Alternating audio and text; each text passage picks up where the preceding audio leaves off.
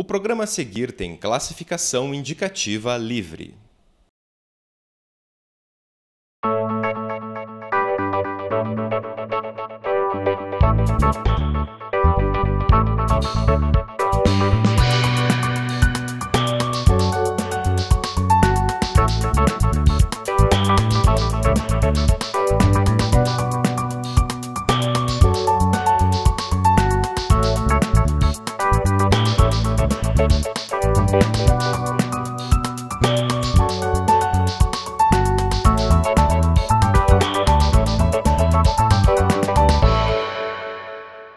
Desde 1991, Antonina é a casa do Festival de Inverno, evento realizado pela Universidade Federal do Paraná. Durante um pouco mais de uma semana, a pacata e pequena cidade do litoral do estado é tomada pela cultura nas ruas, nos museus, nos teatros, em toda parte.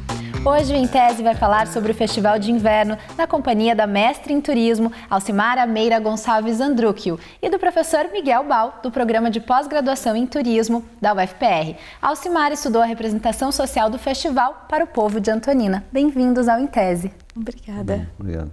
Para começar, Alcimara, o que é representação social? Bem, uh, dentro da, do escopo da teoria das representações sociais, a realidade ela não é a própria realidade, mas ela é representada por, por alguém. Então, ela, a realidade ela vem através dessa interpretação, dessa representação feita pelo outro.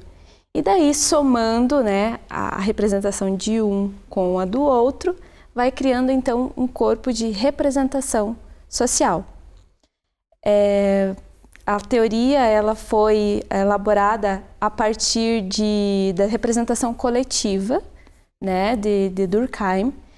Só que para os nossos dias, nessa sociedade dinâmica que altera toda a sua a percepção da realidade propriamente dita, é, ela precisava de uma mudança.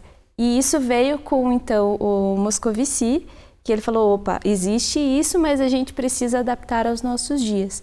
Então, para estudar essa, essa realidade a partir dos indivíduos, é que surgiu então a representação social. Então, é a interpretação da realidade pelas pessoas. Professor, de que maneira que o turismo, as pesquisas na área do turismo se apropriam de teorias como essa para estudar relações, enfim, questões que dizem respeito à área de vocês? Bom, na realidade, a Alcimara é da primeira turma. Da primeira turma. Do mestrado em turismo. E, e na verdade, ela, ela agregou um, um, ingrediente, né? Porque, em princípio, os eventos para o turismo, eles têm um, um lado importante na questão da gestão. Mas também tem um lado importante que é justamente o lado humano do processo. Né? O que, que de fato as pessoas pensam, o que, que elas acham, o que, que de fato significa para elas, né? A realização de um evento. Então essa visão que a Alcimara teve né, a partir da população, ela é extremamente importante, inclusive para verificar a necessidade de mudanças, de complementações, esse tipo de situação para o aprimoramento do próprio evento. Alcimara, por que o Festival de Inverno? Bem, olha, é, eu sou do tempo que não existia. Tem vários. Eu tenho uma relação muito boa com o Festival de Inverno. É, eu sou do tempo que não existia internet. Então, o meu contato com as coisas fora de Antonina, elas aconteciam por meio de telefone, de televisão, de rádio e também do Festival de Inverno. Então, toda aquela abertura do festival, né, que tem a apresentação da universidade, que tem lá os campos, o que, que, é, o que, que a, a universidade tem e como ela atua, isso é, veio, é, essa percepção de uma, algo diferente do que a Antonina podia proporcionar veio através da, do Festival de Inverno, das oficinas, enfim. E eu também acabei conhecendo uh, uma pessoa numa oficina e essa pessoa hoje é o meu marido. Então, é, será que essa relação que eu tenho com o festival é só minha ou as outras pessoas que moram em Antonina tem uma certa, uh, não seria afetividade, mas é, tem uma, uma percepção boa deste evento. Então, é, a partir dessas perguntas e dessas inquietações, enfim, é, eu então comecei essa, essa, pensei nessa pesquisa e, e, apresentei ao professor Miguel mais ou menos como eu queria e ele foi trabalhando de que forma a gente poderia então é, investigar essa como as pessoas pensam o Festival de Inverno. O Festival de Inverno já tem quase três décadas aí de existência, né, professor? E é um evento de grande porte que pode ser olhado a partir de diversos ângulos, econômico, até as questões culturais. Como que o turismo olha para esse tipo de evento? O turismo, dependendo, se você estiver na questão operacional, na questão da gestão, enxerga até como, como negócio. Mas se a gente também olhar um, um evento como um atrativo, então a gente tem que ir para esse lado cultural. Né? O significado maior desse evento para nós é cultural e agrega-se daí a questão da gestão. Né? E um lado assim que, que, que, é muito positivo, inclusive do povo de Antonina, é a própria hospitalidade, o acolhimento que eles têm em relação a esse festival, que é um elemento fundamental para o sucesso de um evento também. E o evento para eles também faz diferença na economia, professor? Faz, faz, né? Não, não sei se não foi esse o caso agora dessa pesquisa, né? Fazer esse tipo de levantamento, mas o fato de ter uma duração expressiva, o fato de ter uma participação de muitas pessoas de fora na cidade, né? Vão depender de alimentação, de hospedagem, de algum tipo de transporte né, e até a compra de um artesanato, quer dizer, ele dá repercussão na própria cidade, sim. Você conhece o Festival de Inverno da UFPR? Há 26 anos ele leva vida, cultura e arte para a histórica Antonina. Desde 1991, a cultura atravessa as paredes dos museus de Antonina, das casas de espetáculos, dos teatros e se aproxima de quem ela realmente pertence, das pessoas, das ruas e dos palcos. É o Festival de Inverno. Durante os últimos 26 anos, o frio passou a trazer com ele magia para a pacata Antonina. Os espetáculos culturais se espalham pela cidade com música, teatro, dança, artes plásticas, fotografia, cinema, folclore, artesanato.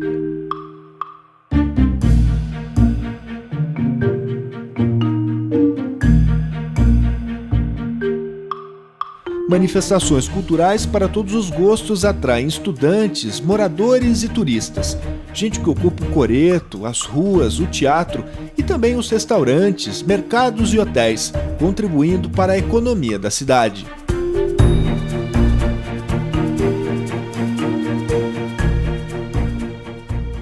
O festival dá voz e vez para a comunidade e as manifestações culturais populares o evento se transformou em um momento de conhecer novos horizontes e de celebrar e perpetuar saberes tradicionais da cultura.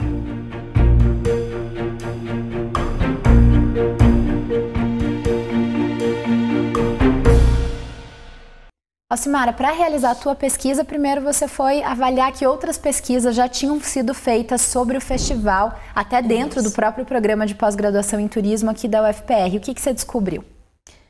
Bem, é, existia uma pesquisa uh, para a especialização em turismo e nessa especialização foi a, a, as perguntas né, da, da, da, pesquisadora foi no sentido de, de saber a percepção dos empresários.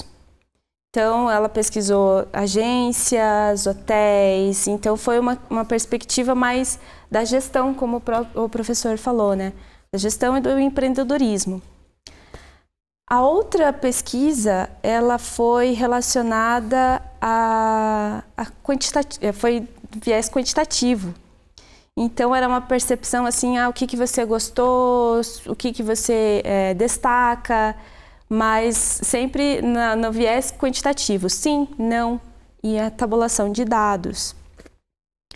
Tem uma outra pesquisa que foi avaliada a questão da sustentabilidade do, do evento. E daí, dentro da nossa proposta, é, não, tava, não havia uma contemplação daquilo que a gente queria. Então, não era suficiente. E, e por isso a gente procurou saber é, de uma forma mais homogênea o que, que o idoso pensa, o que, que o jovem pensa, até para ver se tem alguma diferenciação nessa questão de gerações. São diferentes gerações. É, aposentados, estudantes e empresários relacionados ao turismo. Então, isso dá um, é, seria uma, uma, uma forma de abarcar melhor essa sociedade que mora em Antonina. Então, é, é essa diferença que, que a gente propôs, então, para nessa pesquisa. A gente vai falar sobre os detalhes da sua tá pesquisa no próximo bloco. Em tese, volta já já.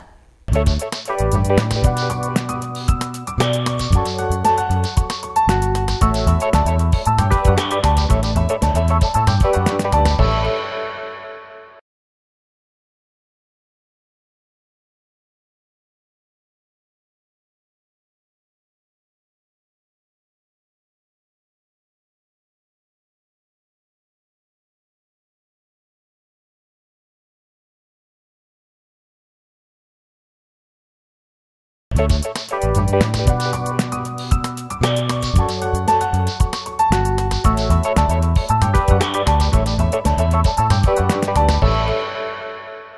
Em Tese fala hoje sobre a representação social do Festival de Inverno da UFPR para o povo de Antonina, no litoral do Paraná. Os meus convidados são Alcimara Meira Gonçalves Andrúquio, mestre em turismo, e o professor do programa de pós-graduação em turismo da UFPR, Miguel Bal. Bom, você começou no último bloco, Alcimara, a falar um pouquinho sobre a sua pesquisa, as características dela, e agora eu queria que você apresentasse que pesquisa que você fez, o que, que você decidiu efetivamente estudar sobre o Festival de Inverno. É, a pergunta central é o que, qual é a representação social que a população de Antonina tem sobre esse, sobre esse evento? O que, que eles pensam? O que, como é que eles é, incorporam ou não esse evento? É, dentre outras perguntas, esse evento é da população ou é da universidade? Esse evento ele tá bom do jeito que está acontecendo ou precisa ser repensado? É, o evento incomoda a gente enquanto né, população local ou não? Então, a partir dessas perguntas, é, a gente pensou então em, em dar esse viés qualitativo para dar voz a essas pessoas que estão, que estão sendo entrevistadas, para pegar a essência da fala de cada um deles. E, e também foi proposto é, uma amostra bem é, diversificada. Apesar dela ser pequena, ela foi composta, então, como eu já tinha comentado, né, por idosos, por adultos, por jovens, adolescente, é, Daí, entre as atividades, estudante, aposentado, é, empreendedor da, do ramo de alimentação, do ramo de hotelaria. Então, a, é, foi assim, no, no, intuito de ver a fala de cada um deles, né? Como é que, tava, como é que se dá essa, essa percepção do evento, né? Como é que eles é, enxergam esse evento. Professor, qual que é a importância da pesquisa de cunho qualitativo para vocês da área do turismo? Bom, nesse caso, né, porque o, um evento, na verdade, ele pode servir como um atrativo principal, tipo alguém vai para Antonina em função do evento, como ele pode servir também de uma, uma opção de entretenimento para a própria população do local, além da oportunidade de, dessa população se inserir né, através de atividades culturais, artísticas, esse tipo de coisa. Então, a, dentro daquela ideia de que a gente também tem que se colocar no lugar do turista, né, no lugar do participante, para ver quais são a, as reais impressões né, que as pessoas têm. Porque é muito comum as pessoas fazem, desenvolvem um produto ou um evento pensando né, dentro de uma ótica, mas esquece de consultar justamente o, o usuário. E nesse caso que envolve uma comunidade, né, isso é muito mais complexo. Então, o que de fato as pessoas pensam a respeito contribui para o próprio aprimoramento do, do evento. Né? E esse tem particularidades assim, muito especiais. Né? A Alcimara, como cidadã antoninense, né? uhum. né? ela, ela, ela, própria tem uma percepção né? no sentido de qual o significado desse evento para ela né? E, e, o resultado disso, né? que ela chegou agora a essa, esse resultado de pesquisa. Então, essa representação social é importantíssima para nós do turismo também. Alcimara, você falou um pouco sobre as características das pessoas que você entrevistou, como que você selecionou os perfis, mas como que você chegou até efetivamente as pessoas e como que foi entabular essa relação pesquisador-pesquisado com elas? É, você sabe que realizar pesquisa não é fácil. Você encontrar as pessoas dispostas a responderem aquelas perguntas, a, a agendar um período, um tempo, né? E sendo uma, uma pesquisa qualitativa, as, as conversas não são. É, elas têm um roteiro, elas são previstas, mas você não tem ideia de, de qual duração vai ter essa conversa, né? E então a gente tentou ver a disponibilidade, né? Eu, eu tinha já imaginado algumas pessoas que têm alguma que participam do festival. Esse era o critério fundamental, que participem e e que tenham é, algum contato é, com o turismo também, né?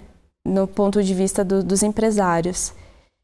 E foi então assim nesse critério de, de ter participado e de ter essa disponibilidade para responder as perguntas. É, até mesmo as pessoas da alimentação, elas, elas palpit, digamos assim, opinam sobre o turismo, né? Elas têm umas ideias e uhum. tal. Então esse, esse foi o meu, digamos assim, a porta aberta para eu convidar essas pessoas para participarem da, da pesquisa.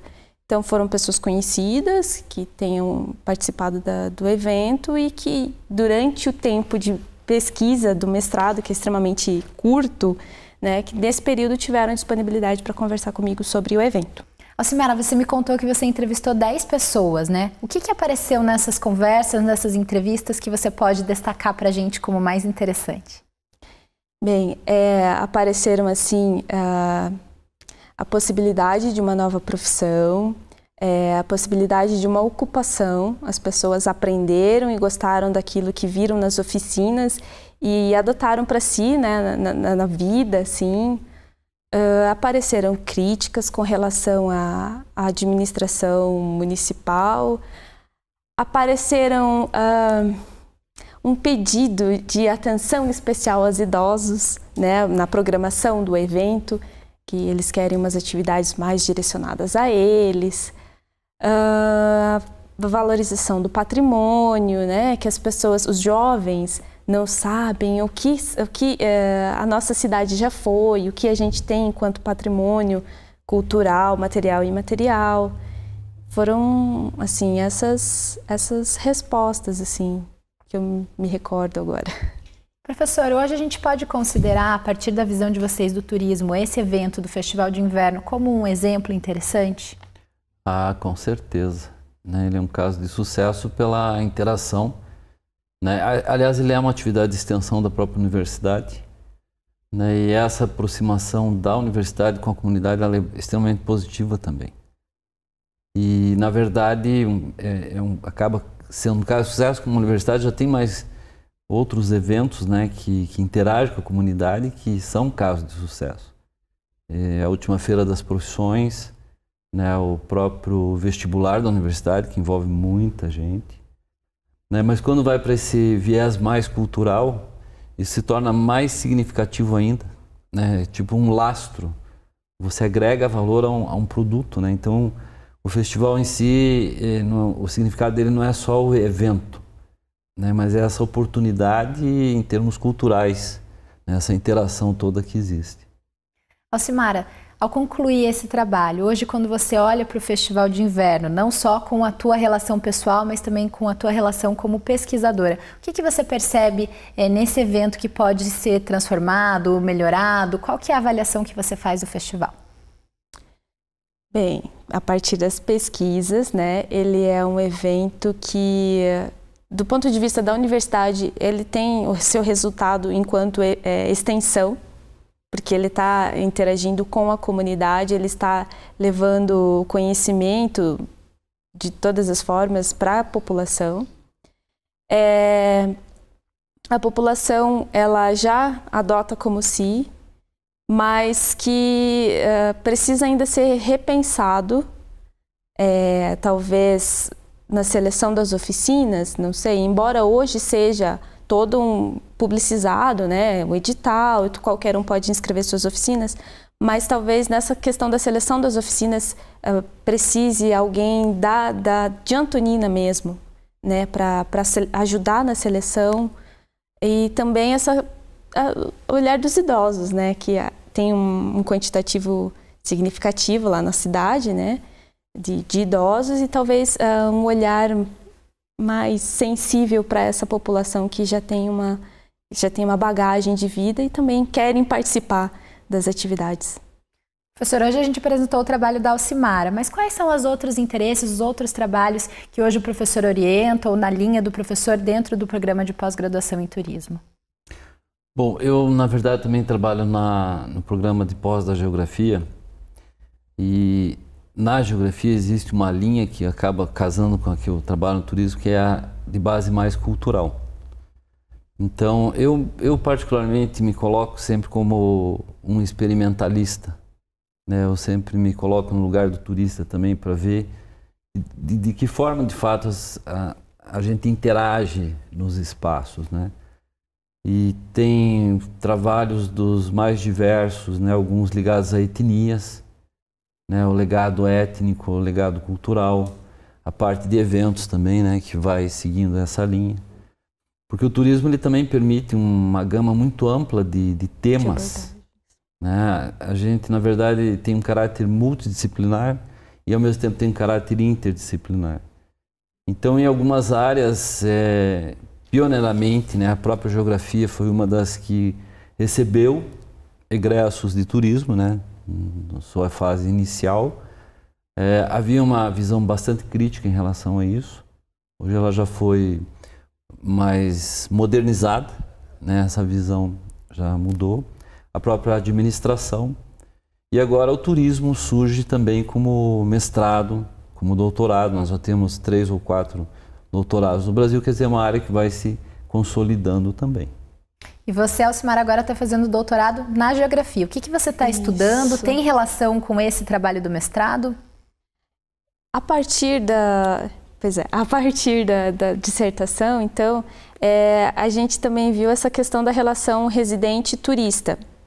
O turismo, né, que vem com o evento, ele alavanca a questão econômica e novas perspectivas para a população.